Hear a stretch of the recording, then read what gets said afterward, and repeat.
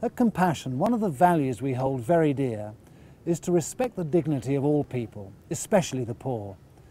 It's our task to educate people on the plight of the poor, but it's also our challenge to ensure that they are given the respect we ourselves would want. We've all seen the pictures and video in the media of people living in horrible situations. At Compassion, we're very intentional about preserving the dignity of those we serve. We try to show the needs of those in poverty without being manipulative or exploitive. People look at the photos in our child packs and sometimes comment that the children don't look very poor. When a parent brings their child to the Compassion Project to have their photo taken for registration, it's a very big day. Many times they show up in their only decent set of clothes.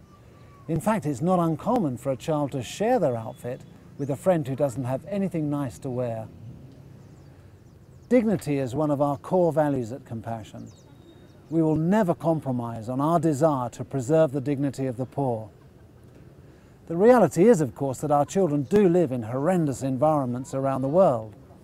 And at times it may be necessary and right to show those environments in photos and videos.